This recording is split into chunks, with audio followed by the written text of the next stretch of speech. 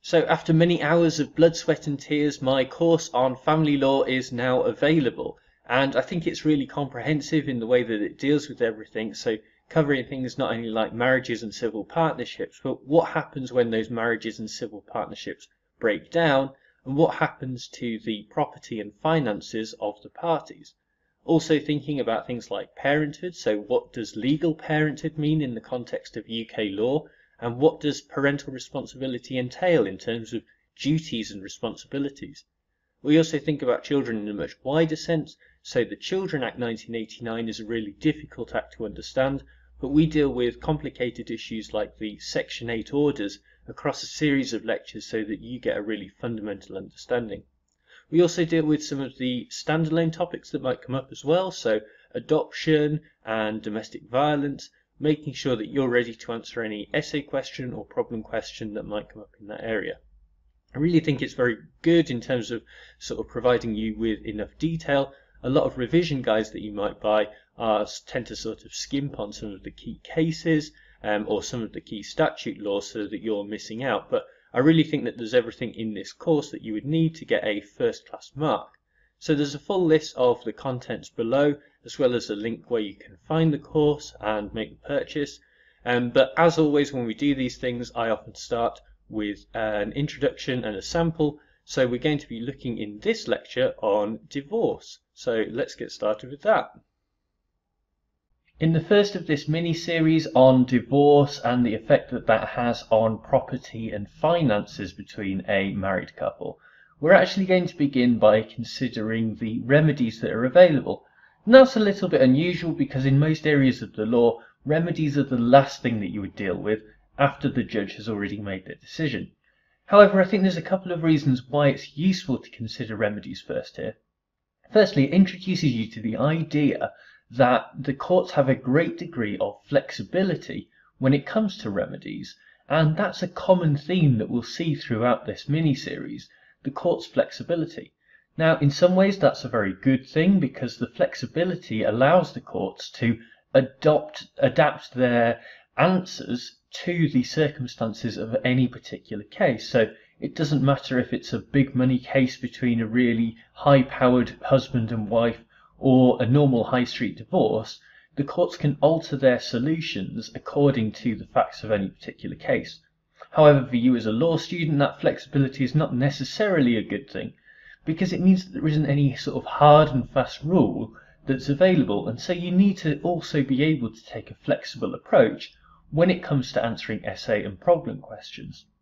The second reason we're starting with remedies as well is because when we're thinking about the substance of a case itself, in other words, the factors that the court will consider upon the breakdown of a marriage, it's always useful to have in the back of your mind what the remedies that the court might be thinking about, depending as those facts and circumstances change. Say, for example, in a problem scenario, how does the having of children affect a particular court's decision and the remedies that are going to be available?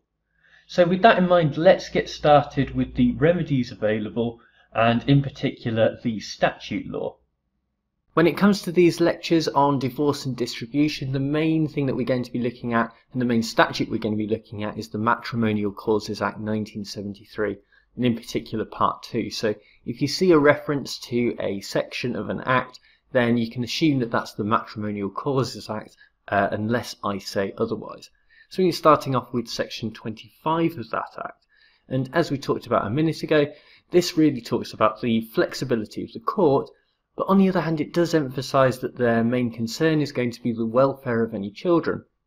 That makes a lot of sense really because children are not able to really look after their own interests, and so it's up to the court to do so instead.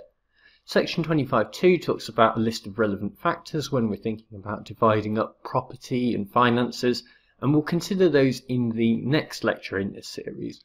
Um, but for now, we're just going to focus on the remedies. Section 25a talks about the discretion of the court to order a clean break. Essentially, what we're talking about when we talk about a clean break is allowing the parties to move past their marriage and set up their own independent lives. So instead of one party having to pay the other party over a period of, say, 10 or 20 years, they're trying to sort of get the marriage done and over with as soon as they can so that the parties can move on and if they want to say remarry or cohabit as part of another relationship.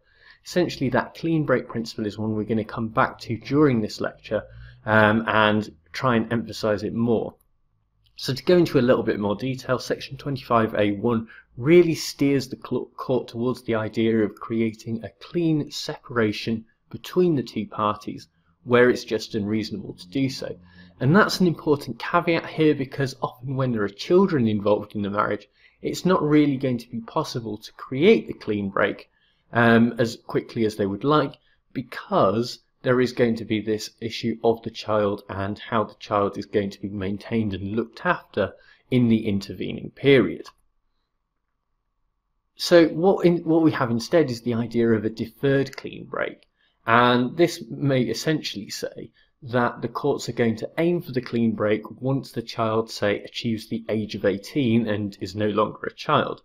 So we're going to have payments for a period of time because it's obviously dependent on the children being looked after, um, but that's going to end at a certain point and then we will have the clean break.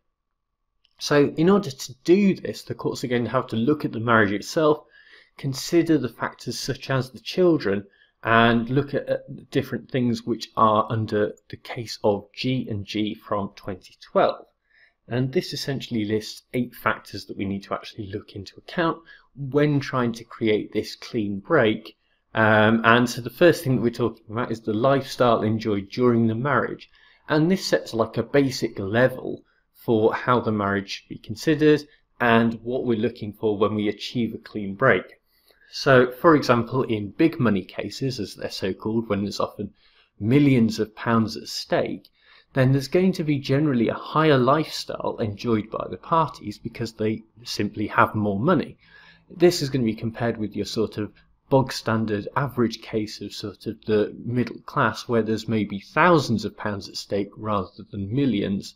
And so there's going to be a sort of lower standard of living that's going to have to be maintained.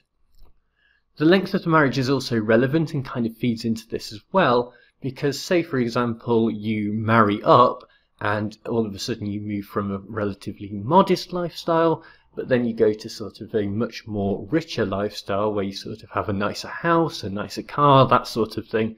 Well, if it's only a short marriage and ends after a short amount of time, uh, then you probably get the court is probably going to accept that you're going to move down back to the standard of living that you were used to before the marriage.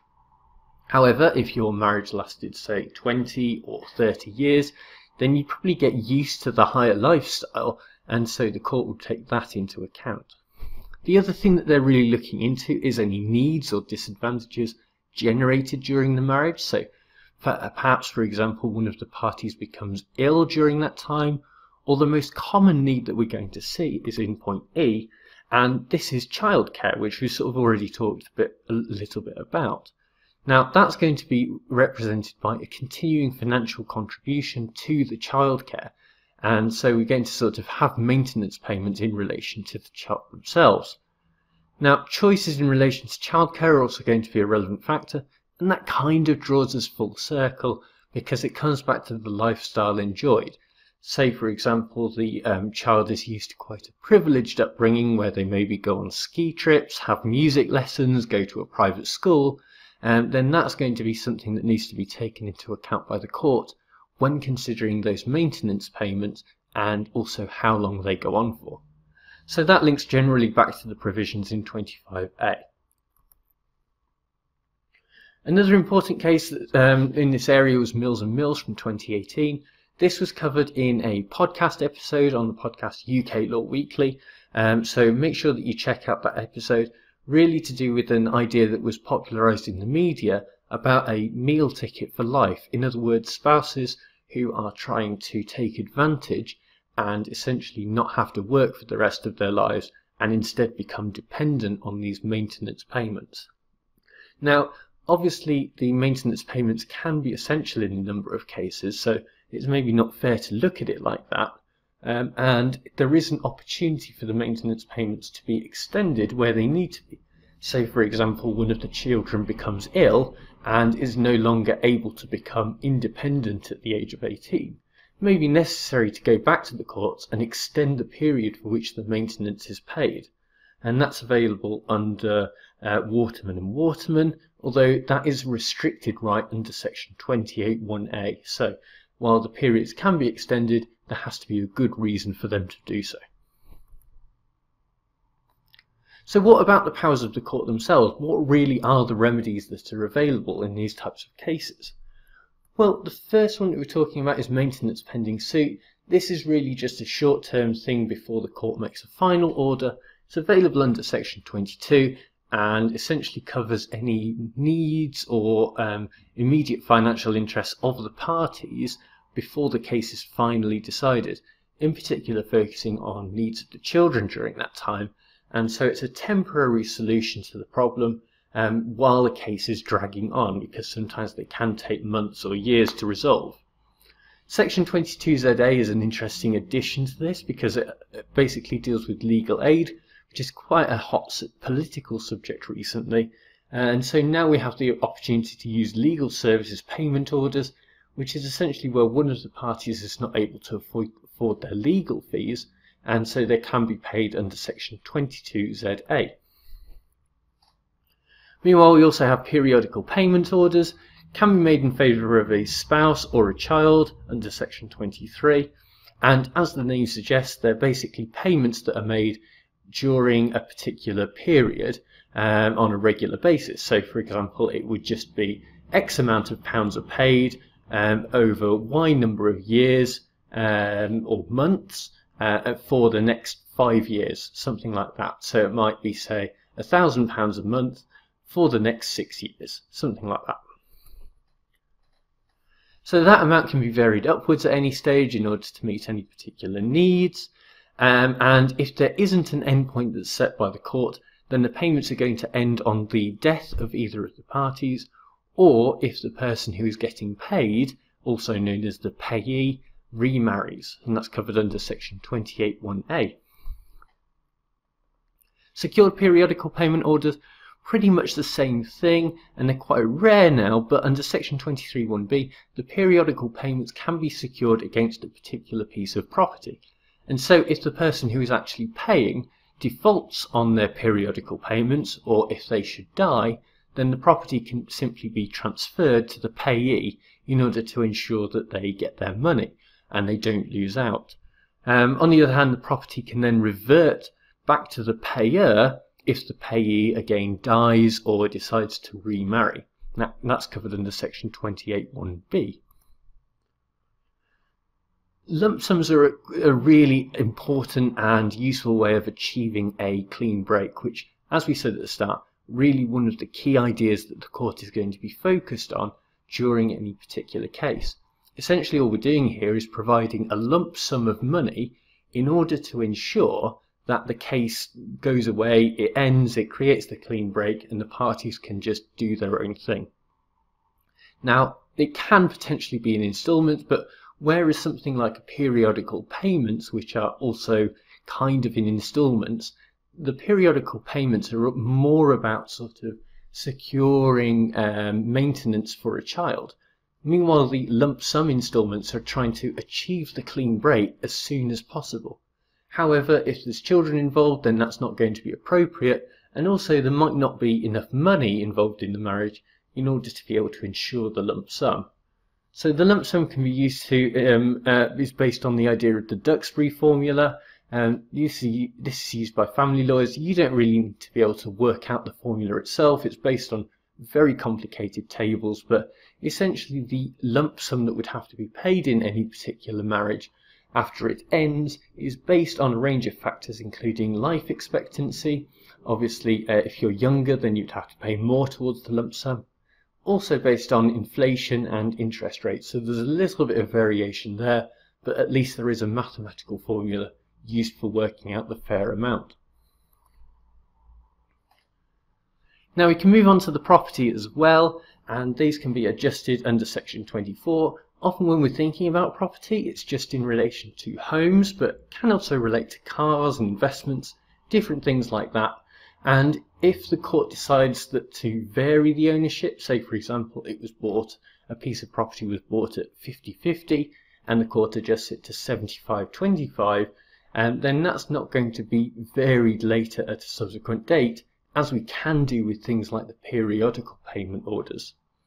So section 24.1a allows the property to be settled for other parties such as the children of the marriage.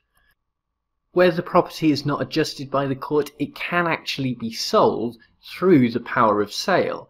And this is a really flexible remedy that's available under section 24a and can be used in conjunction with a lump sum payment. So you can imagine that in most marriages, there's only going to be sort of a thousand pounds or so of capital between the husband and the wife at any particular time.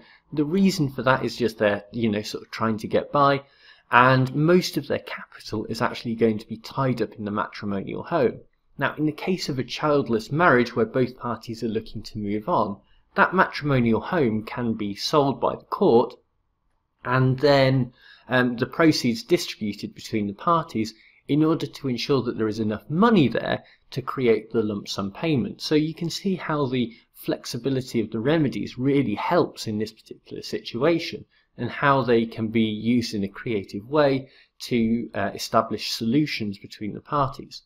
The court can even in these types of cases under section 24a6 order that the property is offered to sell to one of the parties and really the reason behind this is that it stops the party who has the uh, uh, property to sell, um, it stops them being able to sort of sell it at a lower price and reduce the amount of capital that's available as part of the marriage, um, and basically would also allow one of the parties to remain in the matrimonial home if it is their particular desire or even um, need to do so. Related to these property orders, we also have Mesher orders, deriving from the case of Mesher and Mesher from 1980, basically allows one of the parties to remain in occupation of the family home while the other retains an interest. So you can imagine in situations where the matrimonial home is owned 50-50 between the husband and the wife. However, the wife might be the primary caregiver. She wants to remain in occupation after the marriage ends, and so she would be able to do so under a Mesher order. However, say there is a child who is going to be 18 in about three or four years' time, then the court may decide that the property should then be sold once the child leaves home and is able to establish their own independence. At that point, once the property is sold, the proceeds can be split accordingly. However, these Mesher orders are not really as popular. They essentially fail to produce the clean break, and it's not always going to be easy for one of the occupying parties to relocate after the property is sold. saw that in the case of Clutton and Clutton. That case was much more to do with a Martin order, um, which we're going to look at now, but the same principle sort of applies there as well. So in these ca cases, it's going to be necessary for one of the parties to again continue to occupy the family home for the rest of their life. Um, you can imagine type of situation, perhaps one of the parties has a terminal disease and it's not going to really be very convenient or fair for them to move out of the family home. And so they would be able to continue living there for the rest of their life. Once the, uh, uh part, that party has died, then the property would then simply revert back to the other party and they will be able to take ownership. However, um, the other party is also going to be able to gain their share back if, say, the party who remains in the home um, either remarries or they cohabit as part of a new relationship.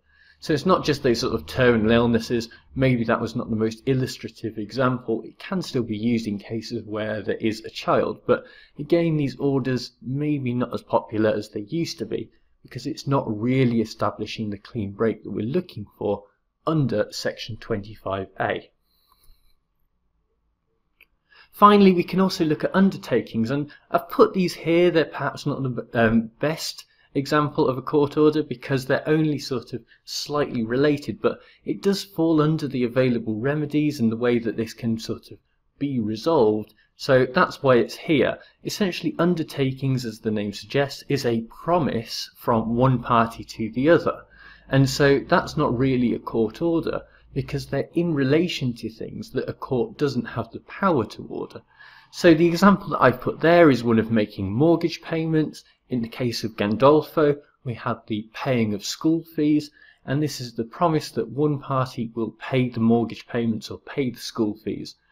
And although that's not an order from the court, because it's an official undertaking, um, it can be enforced by the courts. And so that was seen in the case of Livesey and Jenkins from 1985. And so hopefully that gives you an idea about the powers that the courts have in relation to divorce and the division of property and finances. Now, as we talked about at the very start of this lecture, there is a great degree of flexibility involved here, and this allows for a number of creative solutions. And you should be thinking in the same way when it comes to, say, for example, a problem question. So while we have to look at what the court can do in relation to a piece of property, for example, that can also link back in to the power of sale and the creation of a lump sum in order to create a clean break. And that clean break principle as well, while we think about it, is really important, a foundational principle of modern divorce law, essentially allowing the parties to get on with their own independent lives. And so that's definitely one of the starting points that you should have, although obviously that can be mitigated by the effects of a children to the marriage. Right, I'll be back next time with another lecture on divorce and how we're dividing up property, but for now, bye!